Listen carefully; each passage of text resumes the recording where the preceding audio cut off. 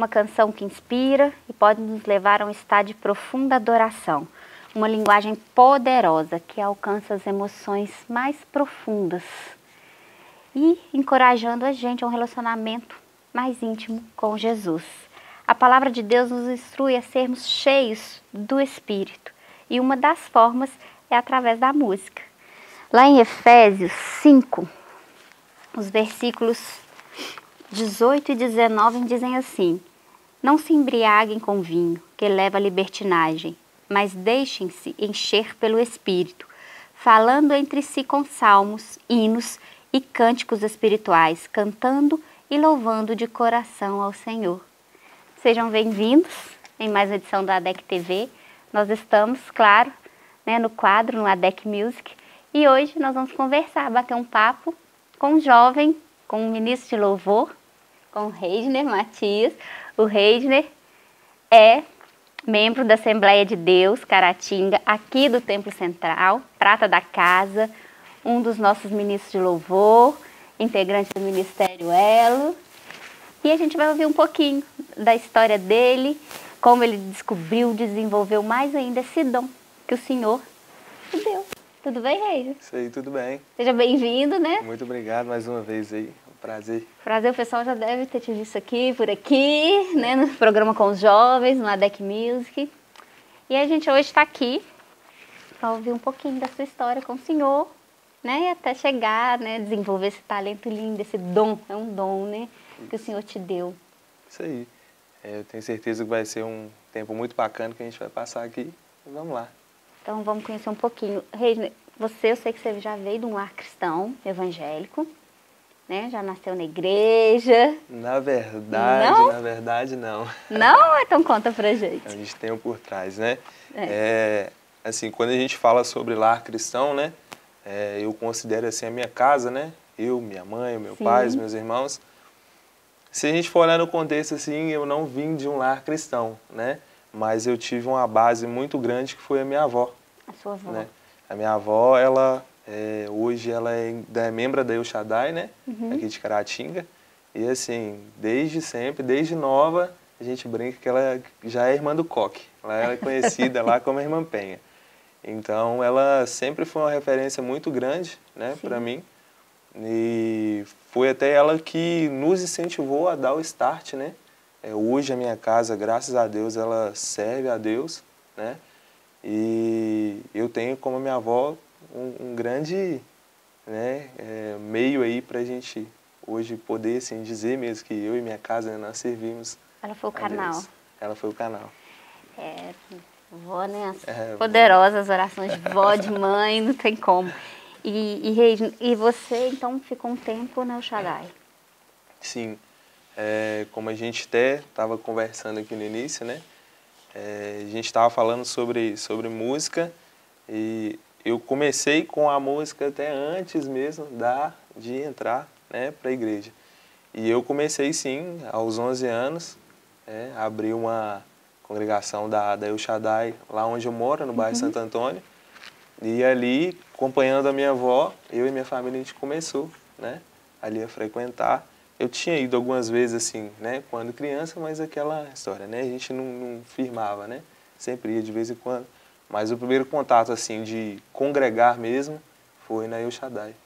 É, você até me disse que, né, que começou a tocar por volta dos oito anos, mas Sim. não sabia que ainda cantava, Sim. só tocando. É uma coisa um pouco engraçada, né? Porque uhum. geralmente quando a gente começa com a música, a pessoa que canta, eu tava até falando, às vezes a pessoa com sete anos, seis anos, ela já sabe que canta. Eu não, eu comecei tocando violão sem saber que eu cantava. Isso eu fui descobrir é, justamente quando eu comecei a frequentar essa igreja de Deus Shaddai, né? Daí você foi pro louvor e foi descobrir, foi desenvolver. Então, na verdade, assim, eu lembro que eu comecei a tocar violão né? E como a minha avó, ela também canta, né? Então ela é assim, aquelas irmãs do coque que gostam muito de harpa mesmo, então ela sempre me chamava, olha, vamos, sem saber que eu cantava, olha, vamos ensaiar um hino aqui comigo e tudo mais.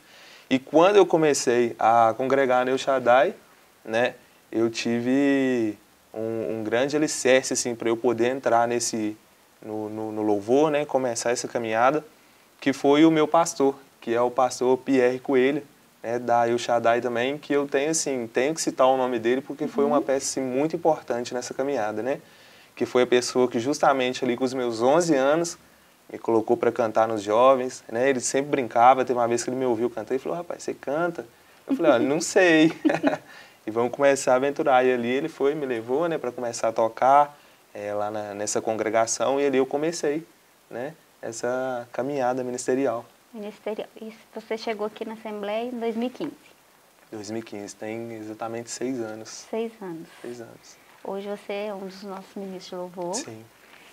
E eu sei que você tem uma voz linda, né? É um dom, assim, preciosíssimo. E, Reisner, e a gente dando continuidade, é... assim, que é, que é dom. O Senhor Sim. nos dá os dons, né? E a gente desenvolve esse dom. Não pode ficar escondido, né? A gente Sim. não pode enterrar um talento e um dom. Jesus até fala disso. Sim. Você já tem músicas também autorais? Sim, tem algumas músicas autorais. Inclusive, algumas delas eu até já é, dei para o Ministério Elo, né? Uhum. A gente até apresentou, a gente canta elas aí no nosso especial de Natal, é, e os outros trabalhos. Então, tem sim algumas músicas autorais. Você sabe quantas, mais ou menos? Carol, difícil saber. É difícil. tem muita coisa que fica anotada. Né? Eu gosto muito, assim, nos meus devocionais, eu sempre gosto de estar tá cantando e às vezes a gente está lendo ali, a gente entra num, num ambiente ali de, de, de, presença, né? E a gente começa a escrever. Então, assim, eu tenho muita coisa guardada, muita coisa que eu até escrevi e não coloquei melodia, né? Tem coisa que eu coloco melodia, gravo e deixo guardada. Eu ia te então, perguntar isso, é, né, do, do, dos autorais, assim, de onde vem a, a inspiração, qual é o seu momento? Então, é nos devocionais. Nos devocionais, São né? nos devocionais. Sim, é, eu costumo dizer que a música é muito momento, né? Então, assim, muitas das minhas composições ela vem do devocional, sim, né? Às vezes o momento que a gente está ali e a inspiração realmente vem do céu, né? Vem do céu. Então, né, eu costumo conversar, até brinquei com, com o Léo uma vez que teve uma música que eu tava, eu tinha acabado de sair de um devocional, eu tava no banho e aí eu comecei a matutar aquela letra que eu tava escrevendo e aí eu consegui colocar uma melodia. Eu parei o banho, peguei o telefone gravei, depois eu voltei, porque a gente sempre, alguns anos atrás, a gente conversando sobre essa questão de composição, a gente sempre brincava, olha, quando vier algo na mente, né? Quando vier algo assim, realmente que, que Deus colocar no seu coração, você para o que você está fazendo e grava. Porque se a gente esperar ali cinco minutos... Você pode esquecer. Já pode esquecer. Né? Então, assim, a gente tem que aproveitar a oportunidade. E, e falando assim sempre de louvor, né? No início eu falei realmente o, o louvor ele, ele, mexe, né? Sim. A música em si, em geral, mexe muito com as emoções. Sim. O louvor, então, ele vai no profundo da nossa alma. Sim. E quando a gente fala, né? Então eu falo assim que a música é um poderoso condutor, eu acho, Sim, um condutor assim para tocar no coração do homem. Sim. Então, disso nós sabemos quão grande é a responsabilidade do ministro de louvor. Sim, muito grande. Muito grande. Muito grande. E, e que né, tem que levar as pessoas, o ministro de louvor tem que levar através né, Sim. A, um, a um estado de adoração mesmo. Sim. E, e isso precisa de um preparo. Sim, preparo. Oração e meditação na palavra. Muita. Muito? Muita. É, a gente costuma falar que a gente tem que saber o que a gente está cantando, né? Porque quando a gente, o louvor, ele é palavra, né? Então, a gente tem que saber aquilo que a gente está cantando, porque se a gente canta, se a gente ministra algo que a gente, ou às vezes não sabe o que está cantando, às vezes não vive aquilo, a palavra se torna, é, entre aspas, vazia, né? Porque você não sabe o que você está entregando, né? E aí, você não sabendo que você não está entregando, você não sabe o que está acontecendo ali, né? Então, assim, é, é uma grande responsabilidade, tem que saber, sim, o que está falando, o que está fazendo, e isso tudo a gente adquire nos devocionais, né? É leitura, é oração. É jejum. É jejum. É, é, é uma responsabilidade muito grande. Falei, Reisner, a gente estava falando de oração, né, que é a base de todo o ministério. Oração, Sim. meditação na palavra. E se o ministro de louvor, nós falamos também um pouco da responsabilidade que o ministro de louvor tem, Sim. E se ele deixa de praticar né, essa, essa vida de devocional, de oração, isso ele acaba virando um profissional do púlpito. Sim, porque é, vamos pensar o seguinte, né? Se você, Deus te deu o dom de cantar, né? É, se uma pessoa chega para você e fala assim, olha, sua voz é bonita, sua voz é bacana, né? É, eu ouvi uma pessoa me falar uma vez que quando a pessoa te perguntar isso, você fala assim, realmente sim, né? É, graças a Deus por isso, né? a gente não tem que ficar acanhado, mas a gente tem que entender que acima disso nós somos adoradores, né? Sim. Então nós estamos ali para servir. E nós somos, sendo adoradores, né? Estando ali para servir, a gente tem que praticar isso, porque senão vira só talento, né? Então, a partir do momento que a gente não tem esse devocional, não tem essa vida com Deus, a gente vira simplesmente meros cantores ali, fazendo uma apresentação, né?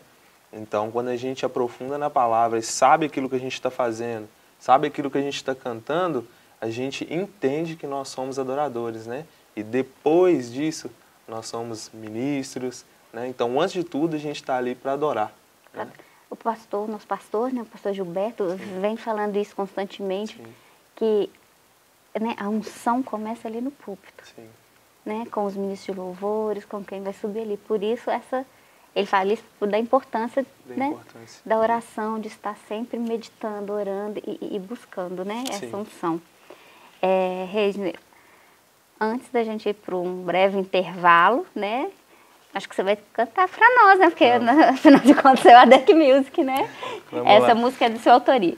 É de minha autoria. É, essa música foi uma música que eu escrevi em um momento que eu tava fui para fora estudar, né? Eu costumo brincar que eu já fui sabendo que, que Deus iria me trazer de volta, mas eu fui de teimoso, né?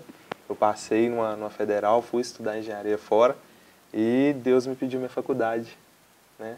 para que eu voltasse e eu atendi o chamado dele. E essa canção foi escrita né, nesse meado e eu é, presenteei o elo com ela. Com ela? Isso. Vamos lá. Vamos lá. Não quero mais viver pra mim. Te entrego os meus anseios pra viver os seus. Não tenho mais medo de ti na presença do Pai eu deixo os sonhos meus que eu venha diminuir e que em mim, Senhor, cresça. e que em mim, Senhor, cresça.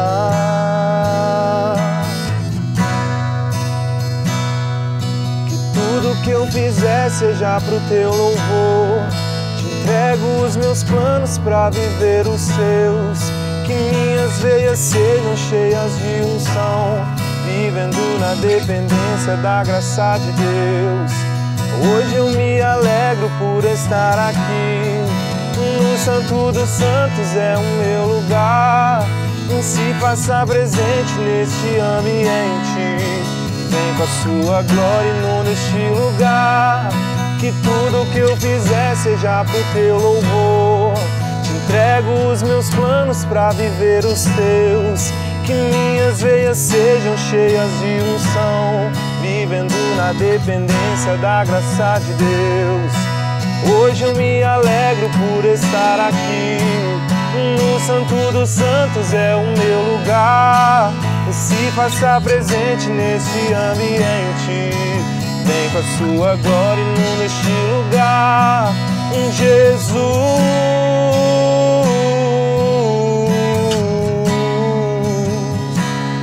O teu amor em mim, pra sempre em mim,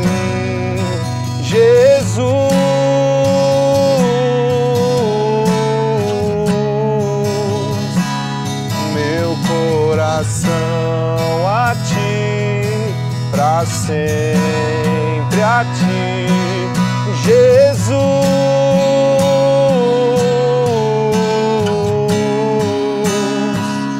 O seu amor em mim, para sempre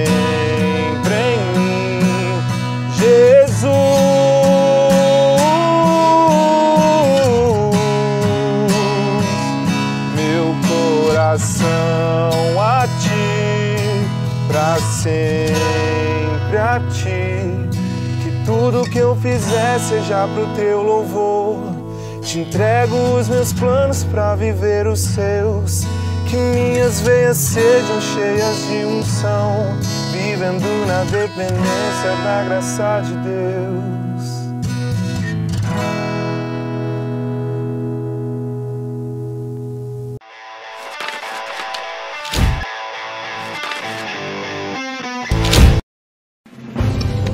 Uma verdadeira história de fé, renúncia, desafios e conquistas. Você irá se emocionar e extrair lições extraordinárias da biografia de um dos mais expressivos líderes do movimento pentecostal no estado de Minas Gerais. Recomendada por influentes líderes cristãos. Adquira agora mesmo Ari Coelho, um legado de fé e descubra detalhes de uma história de vida que pode transformar a sua. Um produto com a qualidade CPAD.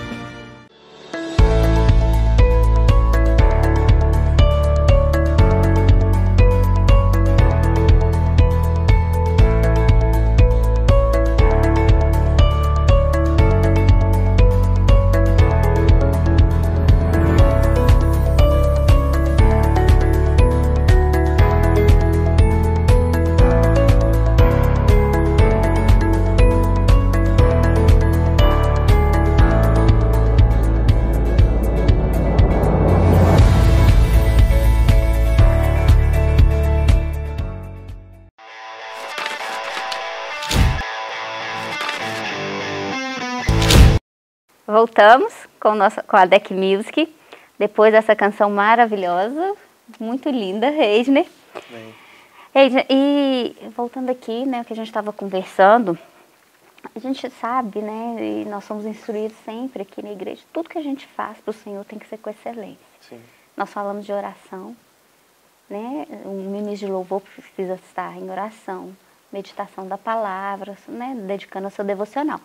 Mas também tem que ter a técnica. Tem, tem o estudo da técnica, porque nós, senão também não é com excelência. Nós tivemos uma mentoria com, com, com o Tom Molinari, né? Uhum. Que é um, hoje pra gente uma grande referência né? no, no louvor, na adoração hoje. E não é um cara assim que é muito conhecido, né? Mas que é um cara muito é, eficiente no que ele fala, né? no que ele faz. E a gente escandalizou um pouco quando ele, ele falou sobre essa questão. Né? A gente até brincou. Porque a gente, assim, a gente até brincou que a gente é acostumado na, na Assembleia a ter uma. A, como é que eu posso falar? Uma. Algumas manias, né? Alguns costumes, né? E ele foi e falou com a gente que é o seguinte.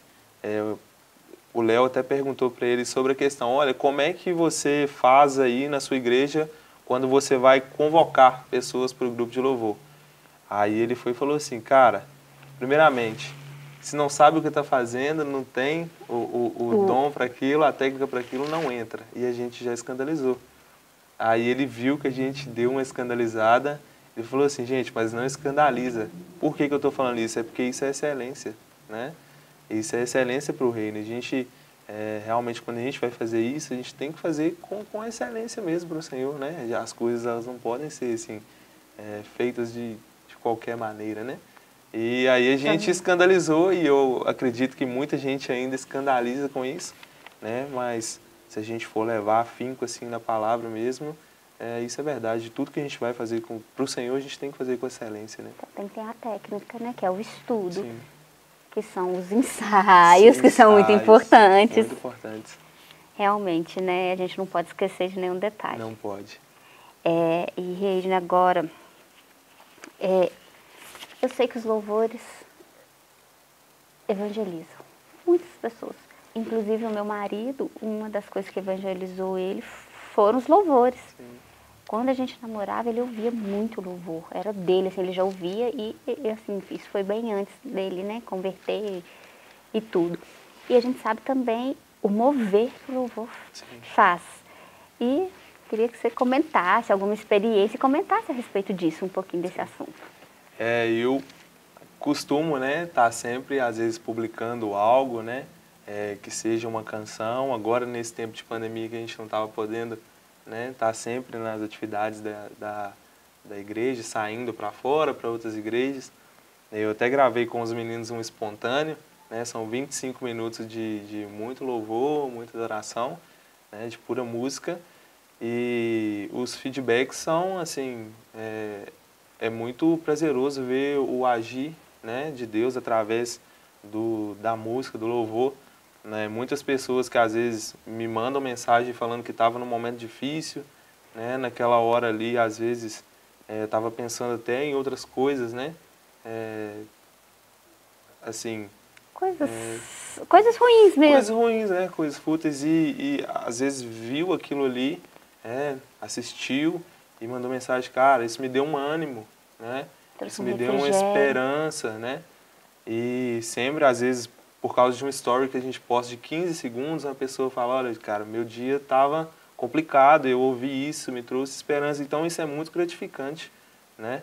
É, de ver que Deus, ele age mesmo através da música, né? Daí a gente até estava conversando aqui, né, no, no, no intervalo, que eu tive uma experiência de ver uma pessoa falando que o louvor, ele, a música, né, ela não salva, ela não cura, não liberta, que o que salva, cura, liberta é só a hora da, da pregação, é só a hora da palavra, né? Mas o louvor, ele é palavra, né? Ele é palavra. Se ele não tiver a palavra, ele não é, não é louvor. Então, eu até queria, até trouxe aqui, eu queria usar justamente a palavra, né, para isso. Aqui em 2 Crônicas 5, vou ler quatro versículos aqui. Uhum. É, aqui no, no capítulo 5, é, eles estavam transportando a, a Arca da Aliança né, para o templo. E aqui no versículo 11 fala o seguinte: Então os sacerdotes saíram do lugar santo, todos eles haviam se purificado, né, estivesse ou não de serviço aqueles dias. Os levitas, que eram músicos, Asaf, Emã, Gedutum e todos os seus filhos e parentes, vestiam roupas de linho fino e estavam de pé ao lado leste do altar, tocando símbolos, liras e harpas. 120 sacerdotes tocando trombetas os acompanhavam. Os que tocavam trombetas e os cantores, em uníssono, louvaram e agradeceram ao Senhor, acompanhados de trombetas, símbolos e outros instrumentos, levantando as vozes e louvando o Senhor com essas palavras: Ele é bom, seu amor dura para sempre. Nesse momento, uma densa nuvem encheu o templo do Senhor. Com isso, os sacerdotes não puderam dar continuidade ao seu serviço, pois a presença gloriosa do Senhor encheu é, o templo de Deus. E eu acho muito bacana porque que eles falam que eles entoavam o louvor uhum. dizendo o seguinte: Ele é bom, seu amor dura para sempre. E isso está onde? No Salmo 136, né? Que, é um salmista? É, lá no Salmo 136 vai dizer: Louvai o Senhor, porque Ele é bom, né? e o seu amor dura para sempre. Ou seja, é, eles entoavam palavra, né? Palavra. E o louvor, ele é palavra, né? Então, ele Tanto cura, se, sim, ele sim, salva, cura, ele liberta, liberta. Ele salva, porque se ele não for, igual a gente falou, né, alguns minutos atrás, se ele não tiver a palavra, ele se torna uma apresentação, né? Então, uma mera apresentação. Uma mera apresentação. Então, ele sim cura, ele liberta e ele salva porque é a palavra de Deus, né? Ele age através da palavra. Ele evangeliza. Evangeliza. E muito. Muito, muito. A música hoje, ela é muito... A gente vê muitas pessoas sendo evangelizadas através da música, muito. né? Muito. É, muita gente que às vezes não teve nem contato com a igreja, nunca leu uma Bíblia, mas às vezes de sentir, é, de, de ouvir aquela música, ela fala, olha, cara, eu senti algo, né? Diferente. Isso, isso me, me encheu, né? E eu quero conhecer mais disso, né? E ali começa esse processo de evangelização. Eu te falei do Léo, meu marido, né? Sim. Que é um exemplo. E hoje tá e já está aí. E, como diz o nosso diretor Moisés também no intervalo, o louvor também abre portas, abre né? Portas. abre portas, literalmente abre portas. Esse caso a gente conta depois, uma, o Moisés. Hora a gente vai chamar vai ele chamar. só para contar esse caso. Reis, e falando de louvor agora, tem algum que te tocou profundamente até hoje, que falou com você né, nessa sua caminhada? A gente sempre tem algum especial, né? Que às vezes Sim. mexe mais. Existe esse? Tem, tem. Assim, a gente sempre tem, tem louvores que tocam a gente, né? Desde o início da uhum. caminhada uhum. até agora. Mas tem um louvor que eu gosto muito dele, né? E que realmente me deu ânimo nessa, nesse momento difícil que a gente está passando de pandemia, né? E eu tenho o prazer de cantar ele sempre. Então, canta pra então, gente. Vamos lá.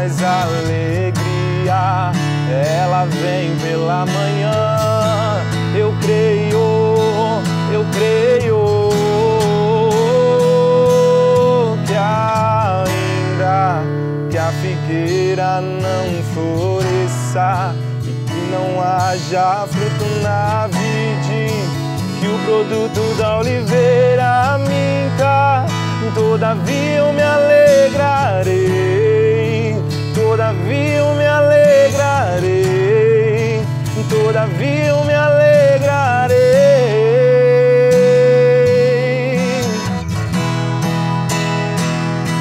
E ainda que a figueira não floresça não haja fruto na vide, que o produto da oliveira minta. Todavia eu alegrarei, todavia eu me alegrarei, todavia eu me alegrarei.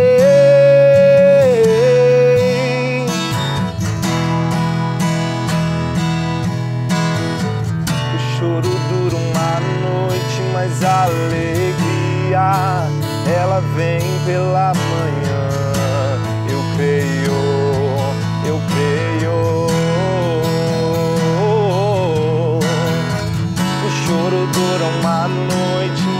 Alegria ela vem pela manhã.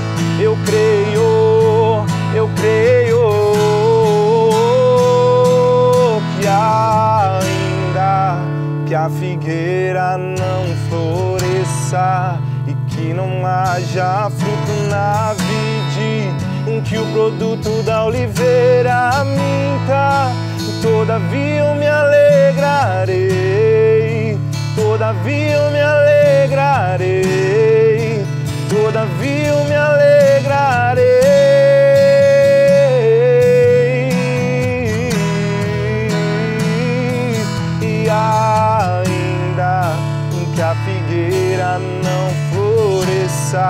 e que não haja fruto na vide, que o produto da oliveira minta.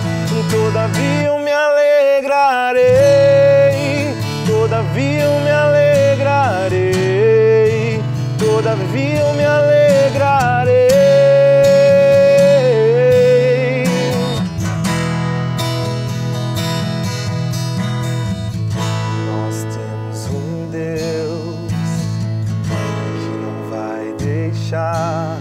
essa luta nos matar, Nisso em nome de Jesus. Lindo demais, né? A nossa alegria, ela vem do Senhor. É muito lindo esse louvor mesmo, maravilhoso. É, e Reis, né? Falando de pandemia, falando de várias coisas. Momentos difíceis. Momentos difíceis, mas é, semana você vai completar né, mais uma primavera. Deixa meu filho ver, não fala vai nisso. Contar, vai contar a idade. É, vou te contar a idade, gente. Eu falei assim, meu Deus, eu tô velha. Eu tô... Primavera, diz meu filho que essa linguagem pertence aos... Completar, é, mas é. você vai fazer 20 anos. 20, 20 anos. aninhos. 20 aninhos. e hoje, né, vamos lá, um jovem, 20 anos, evangélico, né, antes de tudo cristão, Sim. da Assembleia de da Deus, Assembleia de Deus. Sim. Sei também que você já né, tem os seus negócios, já trabalha. Sim. E, e é jovem. Nesse Sim. mundo, é difícil? Como conciliar? Sim. É, torna difícil? É... As dificuldades, né? Isso. Ah, sim, é, todos nós temos dificuldade, né? Mas eu acho que o, o jovem ele ainda tem um pouco mais de dificuldade, porque eu vi uma vez um pastor falando e eu acredito muito nisso. É, muitas pessoas às vezes crescem né, no, ali no, no meio, né, né, crescem ali de um, de um lar evangélico e às vezes ela chega no, na fase da adolescência, ela acaba se desviando do caminho, né? Às vezes são algumas pessoas acabam se desviando porque querem, né? É, querem experimentar daquilo. Outras pessoas acabam se desviando pela curiosidade, né? Sim. Então, assim, o momento aí a gente pode falar de os 13, 14 até os 20 anos, sim, tem uma um, um é um tempo bem difícil, né? Tem várias dificuldades, né?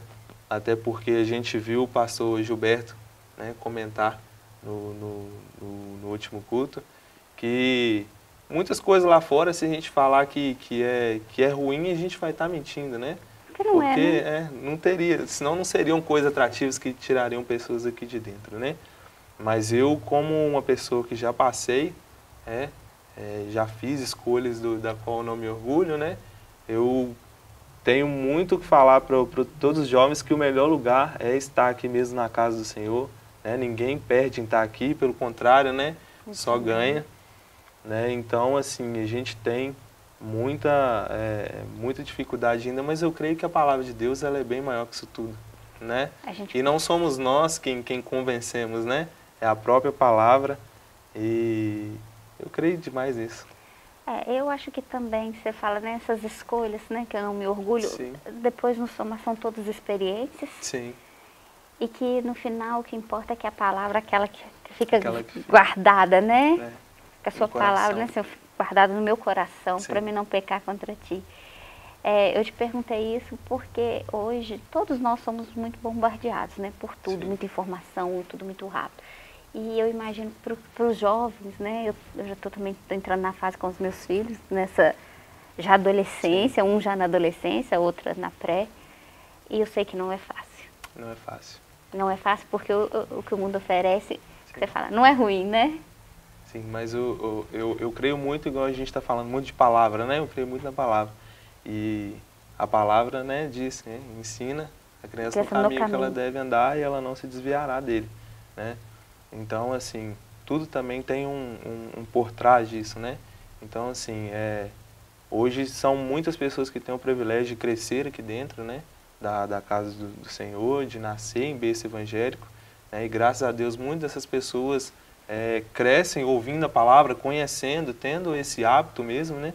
É, e a gente também tem muita dificuldade porque muito, muitos jovens hoje não, não, não cresceram no lar cristão, ou às vezes nunca frequentaram a igreja, né?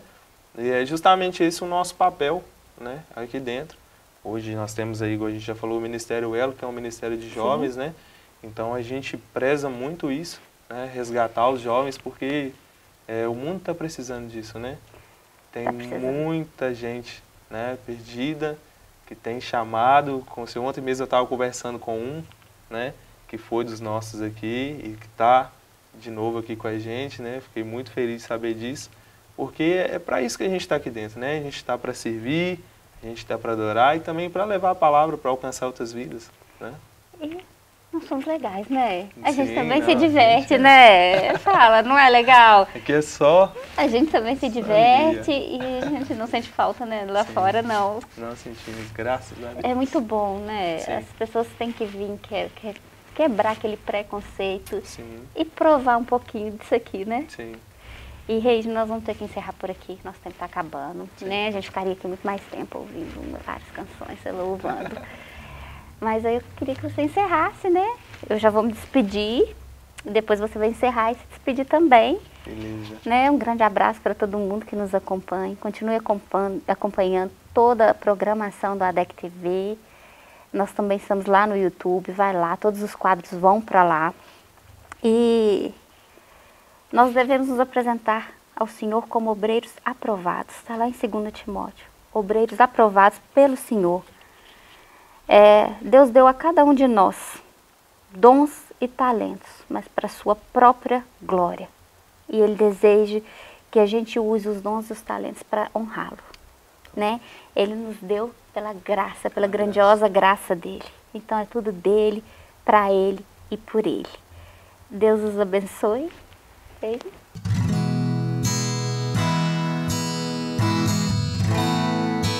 Deixe sua vida sem eu merecer, sem culpa e sem pecado, se entregou em poder e majestade, ressuscitou.